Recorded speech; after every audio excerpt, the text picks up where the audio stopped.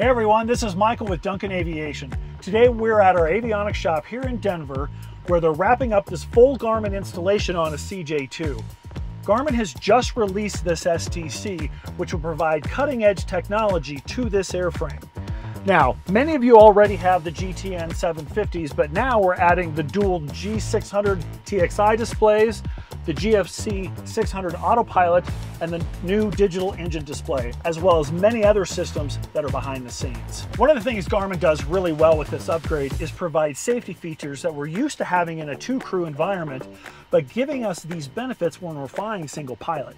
For example, you can bug your rotate speed, V1 and V2 on your airspeed indicator, but you also have the option to have those speeds orally called out while you're doing your takeoff run, just like a two crew environment. Another one of the benefits of flying with the co-pilot is that the pilot monitoring is keeping an eye on the things that the flying pilot might miss, including unstable approaches.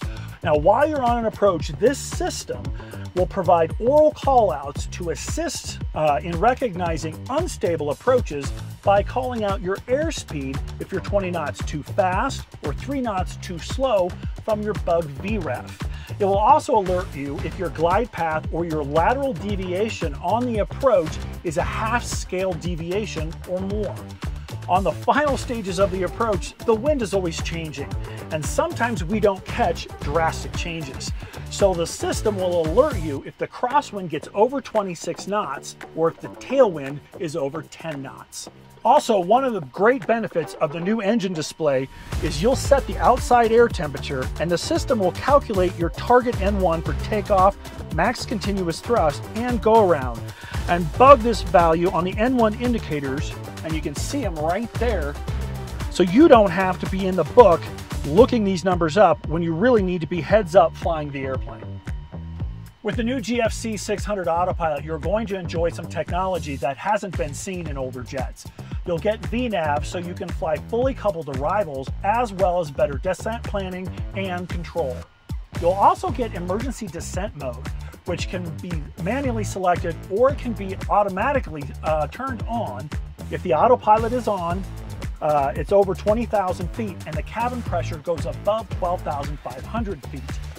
Once the emergency descent mode is engaged, either manually or automatically, the airplane will turn 90 degrees and start a descent 10 knots below VMO, down to an altitude of 15,000 feet. Again, the autopilot is performing this whole maneuver. The autopilot also comes with ESP, which is Electronic Stability and Protection System. This system continually monitors uh, the orientation of the airplane so that when the pilot is hand flying, if they go outside of certain pitch and roll parameters, the autopilot servos are going to kind of start helping you like, hey, you're in a dangerous situation here.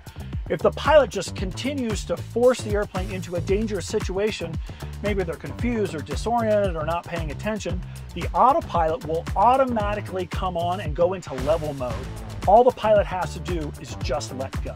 There are situations when the pilot gets overwhelmed during an approach, especially it's at night or bad weather, where you may have the engines pulled back and the gear and the flaps out. Know, this would be a situation like a circle to land type situation.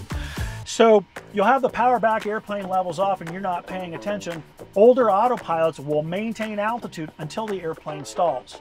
The GFC 600 won't do that. It has uh, underspeed protection.